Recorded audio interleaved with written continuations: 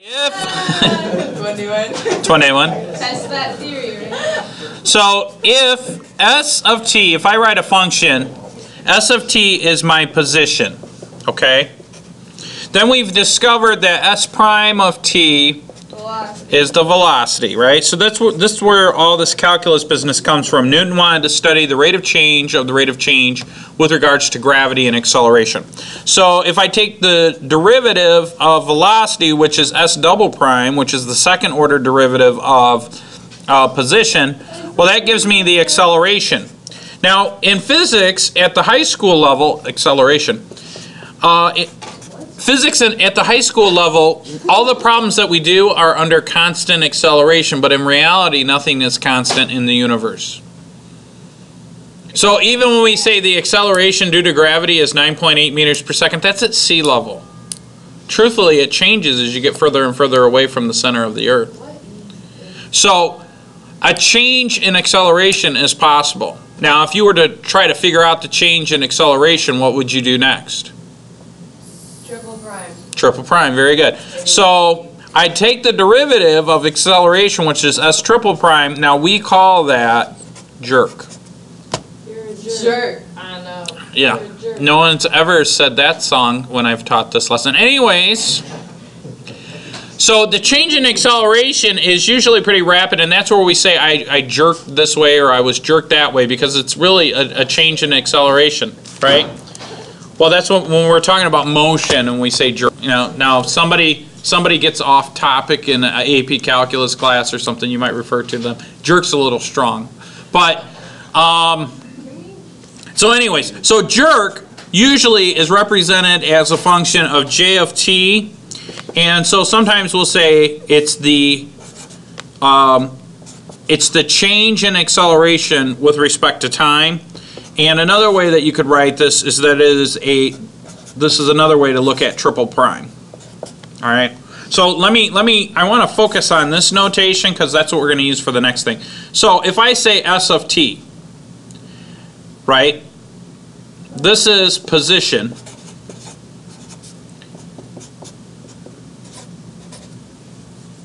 Now s prime would be the derivative of s with respect to t, which is really the derivative with respect to t of the function s. Okay? Does that make sense so far? Yeah. And we, you're correct, we would call that velocity.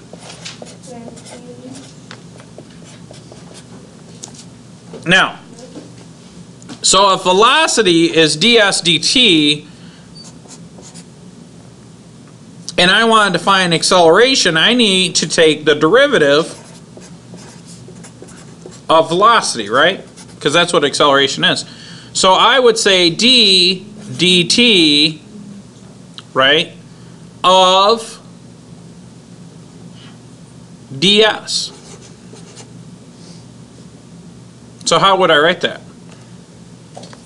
Like that. I forgot to write this down here. So this would then become d Squared. s over d T squared. t squared. Now remember that's just s double prime, right? Where this is s prime. You guys with me so far? So then jerk would be s triple prime, which will be d dt, which is the derivative with respect to t of d squared s dt squared, which is equal to d3s or dt cubed, which is which is another way to write Jerk. jerk.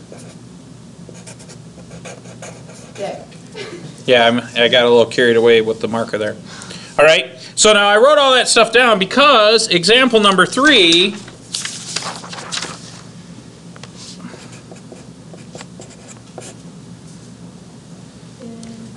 says uh, the jerk is caused by a constant acceleration due to gravity where g is equal to negative 32 feet per second squared. So jerk is d dt of g is zero. Why? Because g is a constant. So we don't feel a jerk because the acceleration is constant. There's no change. In fact, well, you do feel a jerk at first, right? So if I hold the ball in my hand and I let go of the ball, as soon as I let go of the ball, then there, your acceleration changes from zero acceleration to 9.8. So there's a, a very small jerk at the beginning of letting go of the ball. And think about that at an amusement park ride, right? So physics day at Six Flags, you Let's get go! stop. You get at the top hill, right? And just before you fall down the hill on a roller coaster, there's no acceleration on your body. Then when you fall, you feel the jerk, right? So there's a change in acceleration. But once you fall, then you, you feel other things, which is going to be um, forces at play and stuff. But that's one version of jerk. But now let's revisit example number two. Now, I don't remember if you guys, just to kind of refresh your memory of what example number two is. Example number two, we covered an object that was connected on a spring, and we stretched the spring out five units. And then we let go of the spring, and we said that the position of the spring over time was modeled by 5 cosine of t. And then in example number two, we said that the velocity at any point in time t, so right here would be t equals 0, uh, was modeled by the derivative of this. So this is the position. The velocity would be negative 5 sine of t. The acceleration would be modeled by the derivative of the velocity. Um, the derivative, which is just negative 5 cosine of t.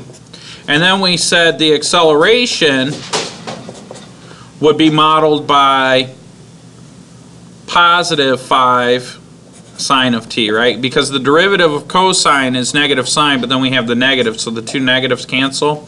So this is uh, the acceleration, and this is the jerk.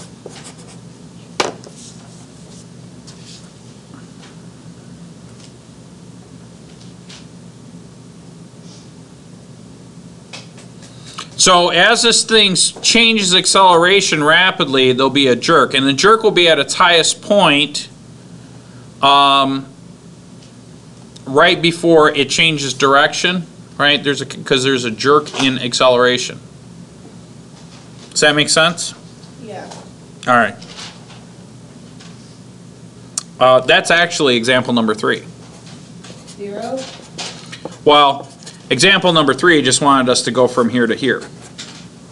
Oh. If we, we calculated in example number two what the acceleration was, and then example number three wanted us to calculate um, what the jerk was.